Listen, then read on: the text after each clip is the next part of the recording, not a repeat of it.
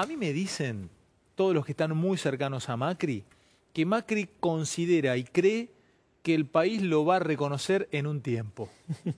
Bueno, Leandro se ríe, pero, pero, te Leandro... una pero pregunta. pará, ¿Vos pero- te parece que se puede ganar una elección Leandro, recorriendo pueblo? Hoy no, pero anunciaron, pará, por ejemplo, que van a limitar Leandro, las indemnizaciones a la pero gente que se ahora- lastima y a los que se mueren. Escúchame, Leandro, escúchame. Yo te estoy dando una data Sí. porque hablo con gente cercana a Macri. ¿Qué operan? No, no me ¿Qué opera, no, Fanta? Para que vengas acá y digas, está peleando, tiempo. porque está Eh, destruido. Consideran, yo te estoy dando, no te estoy hablando de la elección. Eh, eh, Macri le dice a los que tiene alrededor, les dice, me van a reconocer, después si no lo reconocen o si se equivoca puede, ¿Por puede qué ser. logro lo van a Él reconocer? cree Pregúntale que- a tu papá. Pregúntale a tu Bueno. papá por qué logro lo van a reconocer a Macri. Así no se gana una elección. ¿Sabe cómo se gana una elección? Resolviendo problemas.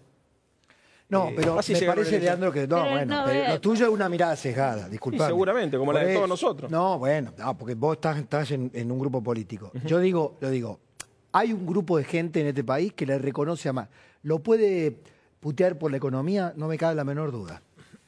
Pero no es la economía solamente lo que algún grupo de personas está valorando hoy, aún con los dientes apretados. Podremos, podrás entenderlo o no, que la gente valore la lucha contra la corrupción, que haya puesto, que No, no haya puesto a las no mafias. ¿Quién valora eso de este gobierno? No ¿Cómo? ¿Quién valora la lucha La contra gente que la lo va a corrupción? votar, Por si no, si no va a votar. de ¿sabés? A ver, a ver, los 8 millones de personas que votaron por Cambiemos, ¿por qué votaron? por una serie de factores. Hay una cuota antiperonismo histórica en este país que explica. Ah, para no pero a ver, pero no, no me vas a decir que el la- a ver. ¿Desde cuándo el apellido Macri es sinónimo de honestidad? no, pero Sos no, un periodista pero- serio. ¿Cuándo Macri fue un sinónimo de honestidad? Te no. puedo hacer una lista enorme de causas que el tipo va a tener que dar explicaciones. Correo, Panama Paper, los parques eólicos. Mira, puedo seguir digamos, hasta que se termine el programa. Nadie que lo vota bien, Macri lo vota porque es Ah, honesto. no. Leandro, ah, pero No, no, Leandro, hay algo que La gestión de perdón. Cambiemos no llevó adelante justamente la bandera de la honestidad y la ética. No, No, llevó, a ver, llevó adelante. Yo no digo que no tenga causa de corrupción, después Pero veremos. miles. Pero yo te estoy planteando. Tienen toda la plata fuera, Pablo, por favor. Sí, claro, siempre. Es tuvieron vergüenza, afuera. el ministro de Economía tenía la guita afuera. Pero Eso- le- a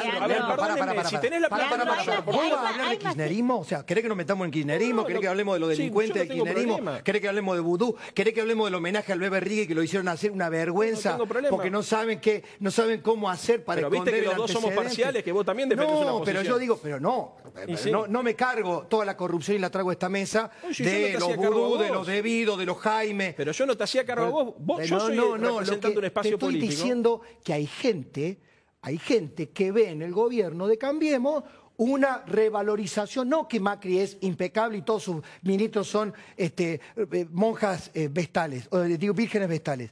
Digo que tomaron la bandera de la ética republicana Gente, como eh, valor político. Me gustaría abandonar el tono y el clima.